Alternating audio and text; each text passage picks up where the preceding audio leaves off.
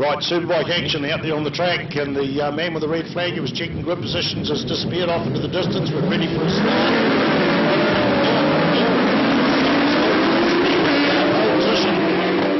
Taken off there into the distance, but Scotty Moir, second man on the uh, qualifying, runs wide on the outside, gets into the lead, but uh, momentarily runs wide. So all action already in the Superbikes, and he's back on the heels of Sloan Frost there.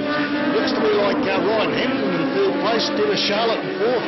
Linden Magee, the uh, M1 Motorsport man, in uh, fourth place. I'm still recognising colours, and it looks to the Kawasaki is in fifth place. As I say that, he goes right round the outside. Oh, there's Nick Cole is off. Nick Cole's off. Uh, runs that back tyre and just puts on the gas a little bit early, and he's up and running around. He's up running back to his bike, but uh, lucky no one else got tangled off. So there's the second in the New Zealand Championships at the moment. Nick Cole is uh, off into the kitty litter, so he's all right. That's the main thing. We look out into the distance, and um, it is still slow. Well, no, Sloan Frost is still in the front there, but the big black uh, and uh, orange bike of. Uh, of uh, Scotty Moir in second place. Can't see too much else of the action. I was concentrating on that. I see fifth Phil Lovett there in the bright orange leathers. Every commentator's dream there in about seventh or eighth place. And uh, you'll see Sophie Lovett as well, the daughter, the Australian team that have come out from Australia there.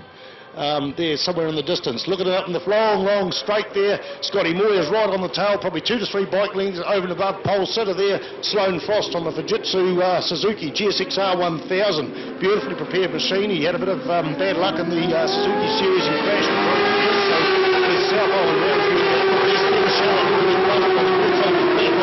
Drops his leg off coming into the first corner. And, uh, straightens up there. Scotty Moir, half a bike length. He's a Taupo specialist. Tries up on the inside on the uh, coming into the uh, right-hander there on the infield, but nothing to do there. Linden Magee, mate, good solid fourth place. He rides right up into the back of Dennis Charlett.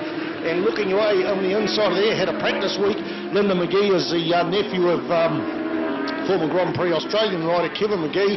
He came out here on the M1 Motorsport BMW S1000R and learnt the track and lay. There's Jaden Hassan flying up on the inside of Ryan Hampton. Uh, Ryan shuts the door on him there, but Jaden Hassan certainly uh, in fifth place there, closing up in on Ryan Hampton, but Ryan Hampton snatched that back. Looking out into the distance there, there's probably two to three bike lengths between it.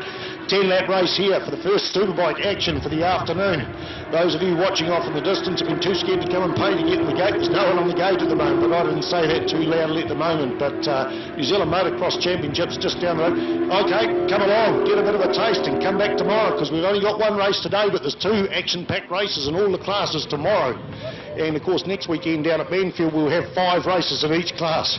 It is still Sloan Frost there and um, backed off a little bit maybe is uh, Scotty Moir. When I say a little bit, he's gone from two to three bike lengths, two to three bike lengths. The points leader in third place, Dennis Charlett. But watch him, he's being hounded by the Union Motorsport broken through into fifth place. He was dicing with Ryan Hampton from Christchurch there. We'll look back to it. And Ryan Hampton, James Smith, Rees, Hayden Fitzgerald moving up. He had a... Uh, a, bit of a, a lacklustre qualifying back in about 12th place, but he's now up into 9th place. Phil Lovett's, Craig, Craig Shirriffs on 56 and 11th, Sophie Lovett, Dylan Taylor and uh, Dylan Telford, sorry, and Richard Taylor and the DNF, of course, of Nick Cole. They've picked his bike up and he's sitting on the sideline, so that'll dampen his um, chance of a New Zealand championship. Won't put a threat on his second place at the moment, but certainly uh, puts that uh, winning the New Zealand Superbike Championships uh, a lot more distance it was. There was 20 points between first and second as we went into this race. And of course now he's got no chance of scoring any points at all at the moment, unless of course this race is red flagged pretty damn quickly. So we'll see what happens. Hopefully that doesn't happen because uh, we want everyone to have a clean race. Clean race in the 600 uh, class, 21 starters, 21 finishes. And I was quite impressed with that. Look at that. Scotty Moir's right on the tail of Sloan Frost as they come out of that sweeper. Uh, well, I don't even want, a bit of a sweeper. It's a left-hand corner coming onto the front straight. Scotty Moir's done a lot of laps around here, whereas... Um, Oh, so I guess Sloan Frost has as well. I remember he did a three hour a couple of years ago, about four or five years ago. He went out just to have a bit of practice, was leading the race and uh, finished the race at the end. He decided to go back out, didn't have spare time.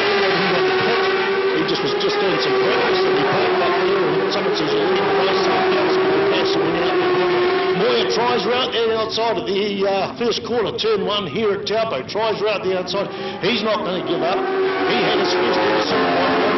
Uh, down at Timaru. I think about the seventh race down at Timaru this year, and uh, a wet weather specialist. Uh, had some good strong showings, run a Honda CBR 1000 a couple of seasons ago, and now he's onto this uh, Moto TT Track Day sponsored machine, and indeed this is the oldest bike in the field. I believe this is a 2008 Suzuki GSXR 1000. Good solid third place for the Underground Brown Suzuki sponsored by uh, yeah, sponsored by Underground Brown, and uh, amongst other things, I'll, I not even look at the program at the moment. But that's Dennis Charlett, the points leader, and uh, Linden Magee's putting the pressure on him all the way through. He's gone up the inside, he's gone around the outside, he's pulled up side by side. Linden Magee is certainly dogging her way at him. So Jaden Hassan, the man that was just almost unbeatable on the uh, bike number 41 when he was running the 600 class, he's sitting there in sixth spot, the fastest man on the track at the moment. The quickest man out there is a 28.954 is Scotty Moir. That's just 30 thousandths of a second quicker than Sloan Frost. And it almost shows on the track there's probably three bike lengths in it. So plenty of action right out in the lead. Plenty of action for second, uh, third and fourth place. It is still Dennis Charlett, followed by uh,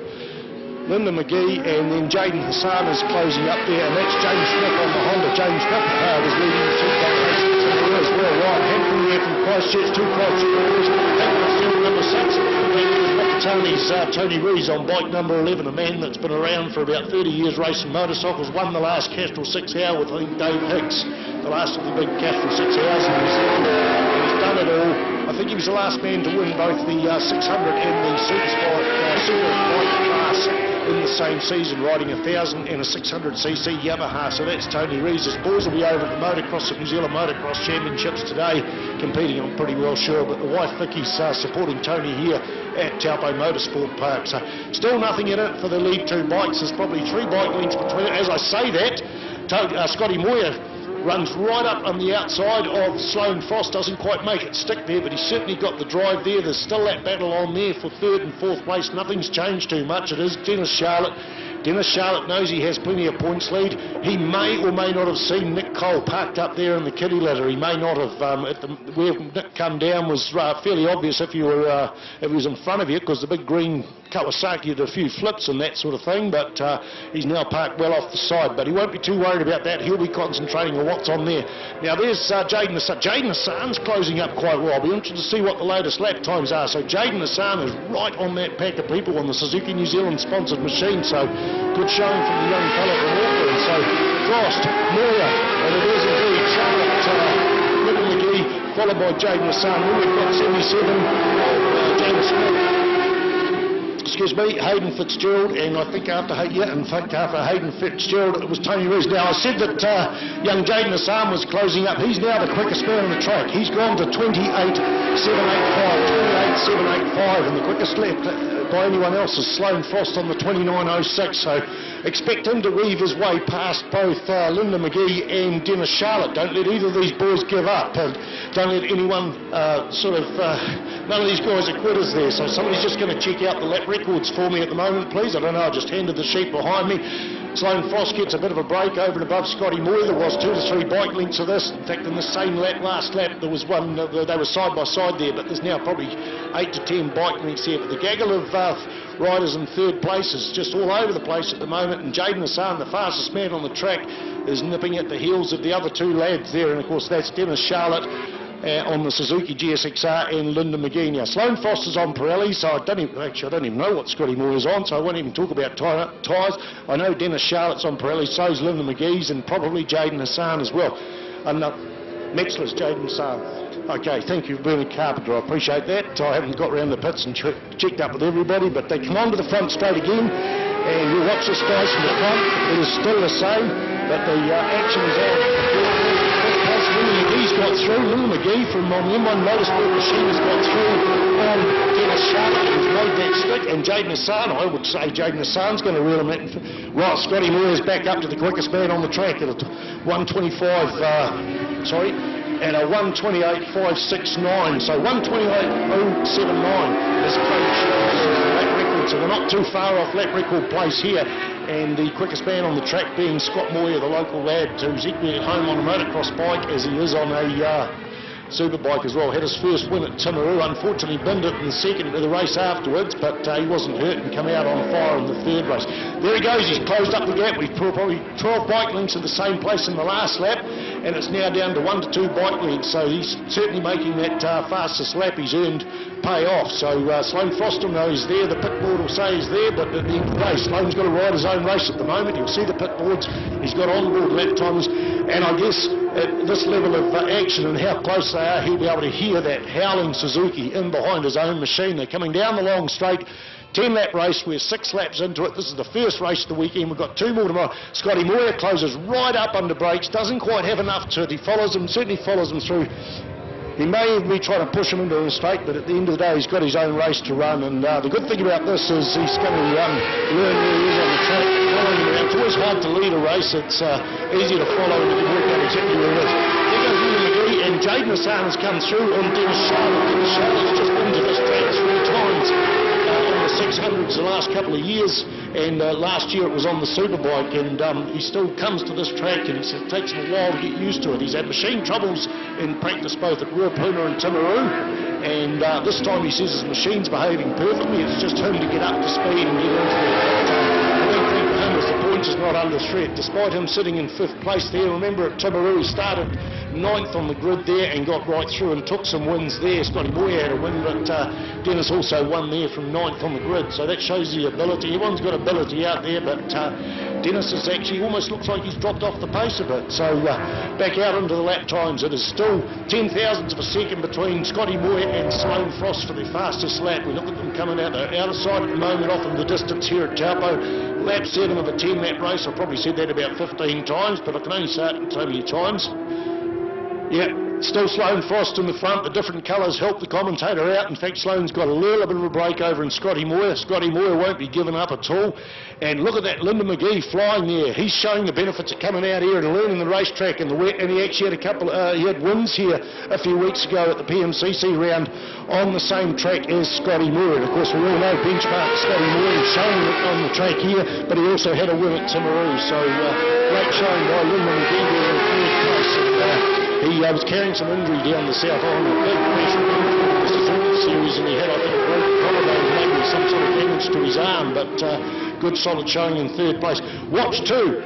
Jaden Hassan there. Jaden Hassan is, was the quickest man on the track. Dennis Charlett's come back in there. I said Dennis was backing off a little bit, but he's coming in there. Hayden Fitzgerald's been up in second place a couple of times this season. He had a couple of uh, two or three second places at Wanganui.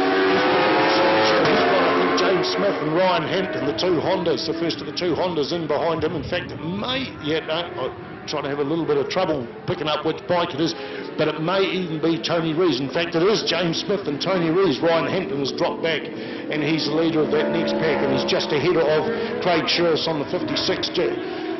Yana sponsored machine, followed by uh, Phil Lovett, the man in the orange leathers from Australia. Cessnock earth moving machine on the Kawasaki ZX10. daughter Sophie. Well, that's pretty good. She's just in behind him, 11th and 12th places. She was struggling this morning. It was just getting used to the track. Because there's a lot of people struggle here first time round, but she's getting used to it. Dylan Telford back after a um, big crash down at Ruapuna on bike number 20, followed by Richard Taylor and unfortunately Nick Cole sideline there. They're coming across for another lap there as lap 8. The white flag is out. Now, Scotty Moore's already had one Superbike win. Um, Sloan Frost's had a couple, but uh, there it is. There's uh, point 212 between first and second as they go across the strike. Scotty's been following all those long nine laps. He's been following pretty damn closely. He'll know exactly where he is again. Linden Magee's having a good solid track. Charlett in fifth place is coming back on form and right on the back of the tail of Jaden Hassan as well. So action plenty right out between first and second and fourth and fifth here at Taupo Motorsport Park. The two Hondas of James Smith and Tony Rees, number 77 and number 11, are uh, dicing it off as well. There's probably three to four bike lengths between it. James Smith already had a big crash this weekend and he said he can't, he can't change gear. He's having trouble putting his uh, foot on the foot peg and changing gear. As I say that, Tony Rees pulls up side by side and going into the hip and he's going to try and outbrake Smith, but Smith shuts the door, so that's not going to happen. Remember, folks, the white flag out, the checkered flag's actually ready because we've had the whole field uh, covered all, and that's in almost half a lap. So that's good for superbikes. Nobody's been lapped this season in superbikes at the New Zealand level, and uh, that's good. In fact, the field is compressing a lot more as they used to be. What have we got? We've got 128 for the fastest lap and 135 for the slowest lap, and uh, unfortunately, a whole row of zeros for Nick Cole, who's sidelined there, but he did jump straight up there. Sloan Frost's opened up a gap there. He's going to take another superbike win on the Fujitsu sponsored machine and uh, well deserved because he had a bit of a uh, difficult season down south, but it's not all over until they come across the start finish line. There we go, Sloan Frost, number four, a big wheelie from Scotty Moore. Congratulations, Scotty, for second place. Linden Magee, good man. Everybody's bloody shit hot here, men and ladies. And uh, there's somebody's down there. That looks like Hayden maybe, or is that? Uh, okay, don't know who. There's a bike down there in the kitty litter. We'll have to come back with that. But uh, right now, oh, that was a wee while ago, was it? Yep, that was a wee. In fact, that's Hayden Fitzgerald had a crash. Unfortunately, Hayden's had a bit of a shit of a season.